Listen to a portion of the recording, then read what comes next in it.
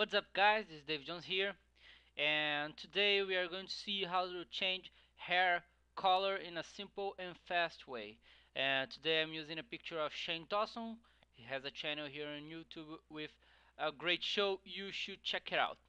Okay first thing that we have to do is to create a new layer.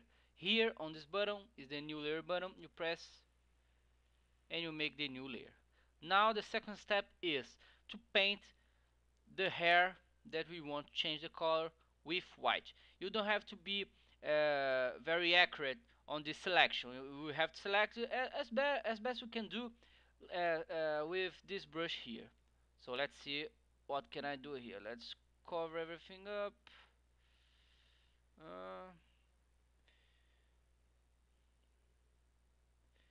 you see that I, I'm getting all the hair that he has okay. Okay now we go here. These are the blending modes and we adjust the blending modes to soft light. Okay you see that the hair colors change already but we can we are going to do better than that.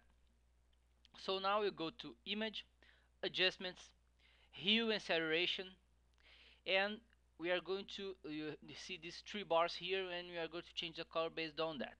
But first we need to look here this box the colorized box and check it.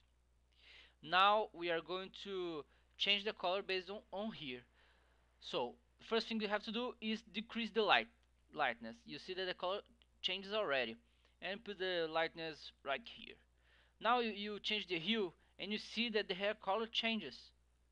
And I don't know I want his hair to turn green so I put here on the green and increase the saturation so we can see better green I'll put here uh, like a red. Yeah okay. You see now the difference. Let, let's check how, how it was before. Look here and now here. See? Fast way simple way and an effective way of changing hair color. It, it, it is it. I hope you liked it. Please subscribe it. I am accepting suggestions on doing the next videos.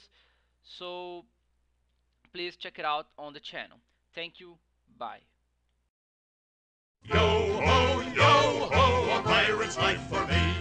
We pillage, we plunder, we rifle and loot, drink up, me hearties, yo ho. We kidnap.